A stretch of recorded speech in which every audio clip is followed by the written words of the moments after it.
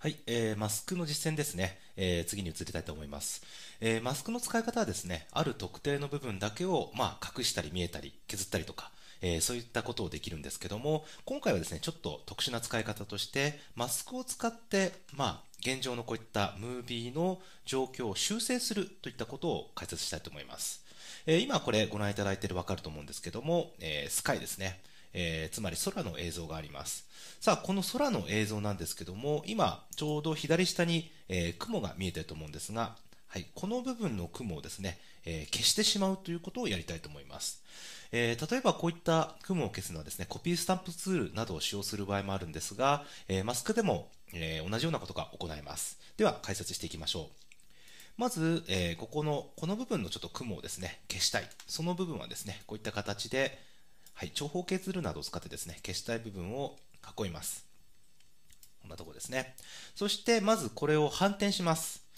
はい。反転しますと、要は逆になりましたね。さあ、この部分を、まあ、今度は雲のない青空に、えー、置いていくんですけども、まあ、非常にやり方は簡単でですね、このスカイをですね、もう一個後ろに持っていくんですね。そして、その部分を、まあ、ずらしていく。んな感じですね。そうすると雲が隠れました。で、どうしてもこう、よく見るとですね、あんまりこう、綺麗にこう決まらない場合っていうのは、こういったマスクの部分ですね、境界線をま若干ぼかしてあげることによって、まあ、うまく馴染んでくれる。そういったこともできますので、はい。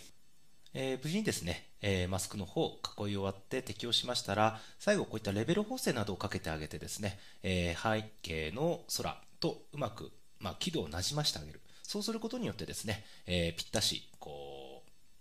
う、うまく、え雲の方を消せるような形になると思います。はい、えー、先ほど雲の例やったんですけども、今回は地平線ですね、えー、トリトンの例でいきたいと思います。さあ、まず、えー、ここにですね、こ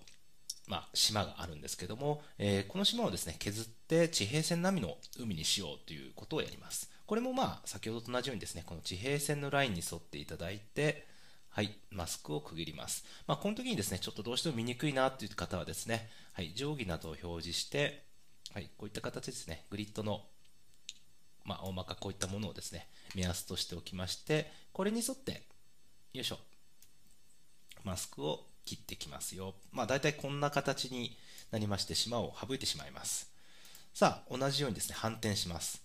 さあ、こうするとこの部分がですね、黒くなってるんですが、これも先ほどと同様にですね、この海のレイヤーを持ってきまして、今度はこれを少し移動させます。こんな感じですね。